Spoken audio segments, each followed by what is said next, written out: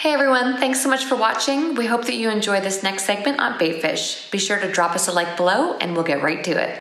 Good morning, Anchored Outdoors. My name is Kevin Feenstra, and it's a beautiful morning here on the Muskegon River in West Michigan. This is a really big, beautiful, diverse fishery, and it has a lot of different types of fish in it because it's uh, in a place that has warm and cool water and we also have migratory fish. Uh, because this river is so diverse and fertile it's got a ton of different kinds of minnows and so I spend a lot of my time uh, using flies that imitate minnows.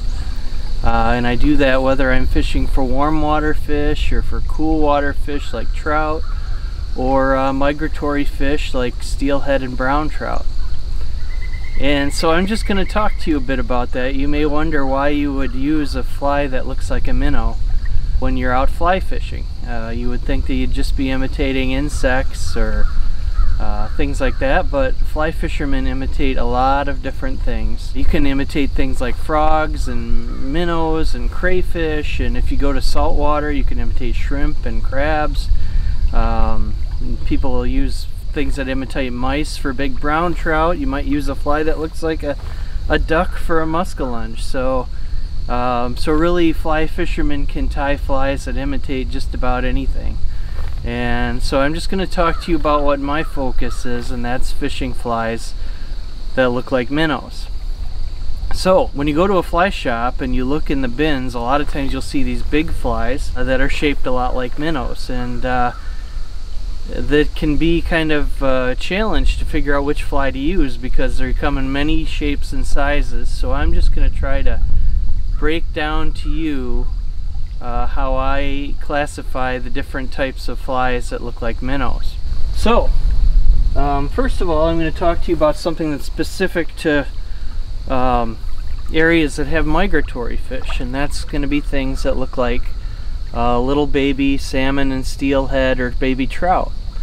And if you're fishing a cold water river and it has uh, migratory fish in it or that has trout in the spring, uh, that's when typically baby trout are born. And so we're going to use flies that a lot of times uh, imitate these baby trout. Now, baby trout uh, a lot of times have a marking on the side and uh, the reason I use this fly is to show you that this fly has some of those par markings on it. Um, because these are kind of a small food source, they have kind of a big head and they taper down to a tail that's typically a little bit square shaped.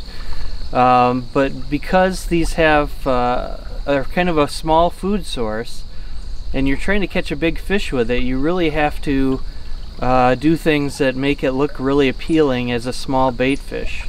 Um, big trout or bass or whatever feed on fry because they're vulnerable. They're typically in big schools and they can come in and eat uh, fry at will because they're just they're they're not a very wary bait fish. So um, so you have to either make your fly a little more appealing than the other flies by uh, trying to add a little sparkle to it or uh, you need to get your fly really close to the fish because a big fish isn't going to move very far for a single fry. Or you can do other things like maybe add a second fly on and fish two at a time. That's also a good way to do it. But fry, because they grow quickly and because they're generally pretty small, um, they're not very wary, like I said. So they're what they're going to do is stay kind of high in the water column, and they're going to survive just by having mass numbers of, of uh, their bait fish. But fry come and go pretty quickly. I fish fry until maybe um, from the month of March all the way through uh, late May into early June. And at that point I start to rely on minnows that are in the river year round. Now, one of the main classifications I use for minnows is I use something called a shiner. And uh, I tie shiner flies for smallmouth bass a lot of times. Uh, but shiners a lot of times become a really prime bait fish in the middle of the summer uh, and all the way through the fall and winter. And uh, I use shiners are typically fairly big at the front and they taper down and they're common in just about any river especially if rivers that have weeds or a lot of timber and structure in it so um, and there's a lot of different flies that imitate shiners. If you go into your fly shop and you see a big white fly, a lot of times that'll be a generic shiner imitation.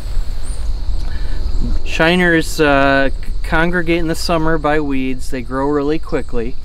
And uh, then when the weeds die off in the winter, uh, the migratory fish and the trout that are in a river might gorge on shiners. And uh, Shiners swim all over the water column. Small shiners often live pretty high in the water column, whereas bigger shiners live in the lower parts of the water column. And there's other bait fish that are shaped like shiners that have this kind of tapered shape to them. They're kind of thick at the front and narrow at the back, but the, just about every river is going to have some. They might be shiners. There's uh, fish called chubs that we have in many river systems. And uh, you might also have migratory fish that kind of migratory bait fish that fall into this category like shad or uh, a uh, uh, alewife in the Great Lakes region. So there's a lot of different things that can be imitated with a shiner pattern. And again, these are kind of long and tapered. They typically have silver or I use kind of a pearl color to give them a little flash because when they turn on their sides, naturally in the water or if a bait or if a game fish is pursuing them they'll see that flash and so it's very important to have a fly with a little bit of pearl or silver in it when you're fishing shiner patterns and they can be a variety of colors.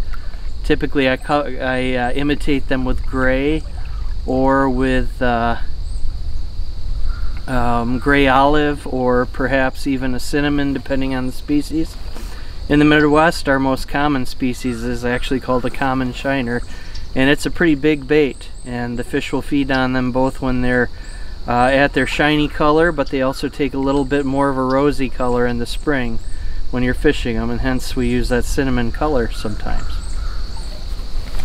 Now, I'm going to talk to you about another class of bait fish. While we have shiners and fry that live kind of up in the water column, they can be kind of high in the water column. Um, there's another class of bait fish that lives right near the bottom. And a lot of times, if you look at the bottom of the river, you'll see things scurrying around when you move your feet. And uh, these could be things like sculpins, which are a bait fish that has a big broad head, typically lives under rocks, somewhat nocturnal, but uh, very, very good bait fish. Uh, in the Midwest, we have things like ground gobies, which are an invasive species, and the fish love to eat those. And then there's things like darters, which are a small member of the perch family that we often use um, throughout the winter months. So I'm going to explain to you how I look at these, and uh, and you can kind of go from there. One of my favorite things to imitate is a sculpin, and it's a fish that I use year round. It's something that I can rely on just about any day of the year. And it's a big bait fish. Typically they have a big head and they have big pectoral fins. Now, most of these bottom dwelling bait fish, they live on the bottom and they don't have the ability to regulate how they go up and down in the bottom. They don't have what's called a swim bladder. So they're basically stuck on the bottom and they can move very quickly for short spurts but then they fall back down to the bottom. And that's why when you read about people fishing sculpin patterns a lot of times they'll talk about strip strip strip pause. And that's because most of these bottom dwelling bait fish they can only go quickly for a short period and then they drop. And um, sculpins do not have any scales. So in addition to not being able to go fast for far they make a really good meal for a big predator fish because they don't have defensive scales on their body. So their main protection is camouflage. And if you come to a river and you want to fish a sculpin pattern or really any of these bottom dwelling bait fish, all you have to do is look at the bottom of the river because the color of the bait fish is going to typically match the bottom of the river. So again, this is a sculpin pattern. Most bottom dwelling bait fish fall into what we call the earth toned family, which is flies that uh,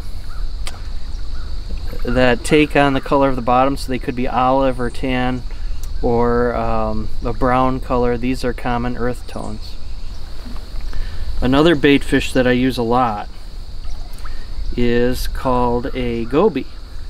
And gobies look a lot like sculpins. They have a big head, they have big pectoral fins, and they typically have big eyes. And gobies are an invasive species that have come into the Great Lakes. And they're one of my favorite invasive species, if you can imagine that, because most invasive species are just horrible for our resources. But the goby actually has made, in some of our rivers and lakes, has made the fish a lot bigger because they reproduce like crazy. Uh, they often feed on juvenile zebra mussels, which are another invasive species, so I guess that gives them a bonus point. And uh, um, typically they're kind of a lighter tan color. Unlike sculpins, they tend to sit on the top of rocks, which makes them uh, really vulnerable to predation, and they just survive by sheer reproduction in a system. Now, uh, one other thing to one other type of bottom dwelling bait fish is a lot smaller, and we call that a darter. And darters to me are really specialized bait fish. They're often very colorful. You can see the color in that fly. This one imitates a rainbow darter. Um, but darters are really useful because if you compare them to that big goby pattern, they're a lot narrower bait fish. But they do live on the bottom in the same way as sculpins and gobies. And I use these a lot during the winter months, mainly because uh, they're in the part of the bottom of the river, which is where the migratory fish are, like steelhead and brown trout. And uh, but the the nice thing about them is because they are narrow and sparse, I can sink them to the bottom really easily. And during the dead cold of winter, that's a great time to use a darter pattern, and that's true for the migratory fish. But the trout also love them in the winter. So if your river has these, you may want to think about looking looking at them. Uh, they come in a lot of sizes and shapes, and uh, they can be anywhere from a tan color to a really bright color, uh, depending on the river and the species. But they're a member of the perch family, a very good food source, and a high percentage of the biomass in a lot of the rivers in the Midwest. So you might want to look into these. Now, just to complicate things a little bit more, not every bait fish that you tie um, actually looks like a bait fish in nature. A lot of times um, I'll use things that are bright, really bright and colorful. I call this a kitchen sink leech. I use this a lot during the winter months, um, but it's just a broad array of different colors and uh, doesn't look like anything in nature, but yet the fish like to eat them. It's kind of generally shaped like a bait fish. But this is just designed to get a fish, a game fish, to look from a distance at it and to come scooting across the river and eat it just because it's so very attractive. And this would be a typical one you can see. There's really no minnow in nature that looks like this. Um, there's more subtle varieties of things like this. Like uh, these are a couple of um, muddler minnow type patterns that I use an awful lot and again this one is purple and one is blue and they have a lot of flash so um, you can see they don't really look like anything in nature necessarily by color or by flash but they're generally shaped like a sculpin. On a side note if you go into your fly shop and you see a uh, brown muddler minnow in the box there that's a good basic uh, sculpin imitation to always have in your box. But these attractor minnows uh, can be something really big. You might use something like this for northern pike. And again, doesn't really look or color like anything in nature, but yet it's kind of shaped like a big minnow. And it's a color that uh, the predator fish really like to eat. Now just one final note uh, before I end my little talk here. That when bait game fish look at a minnow, sometimes you're fishing to them at eye level or you're trying to get it right at their in front of their face and with those that's when you want to use a really subtle and natural colored fly. Um, but if the if you're fishing it pretty close to the surface or higher in the water column the fish is expecting to be seeing the belly of the minnow that you're imitating. And so you'll want to use a little bit lighter color a lot of times when you're fishing higher in the water column. And a lot of times that's a yellow or a, a pink or a white. And uh, so Um, so anyways, my final note is just bear in mind whether you're fishing, if you're fishing slow and deep right in front of the fish, then use something very natural a lot of times, very uh, earth tony colors. But as you move up in the water column, the fish is looking up at your fly. Maybe something brighter or lighter colored might be something that would work better. So, so uh, I hope you enjoyed this little talk about the uh, bait fish. And these are things that you can apply to any river you go to to some degree or another. So, thanks for watching and have a great day and good fishing.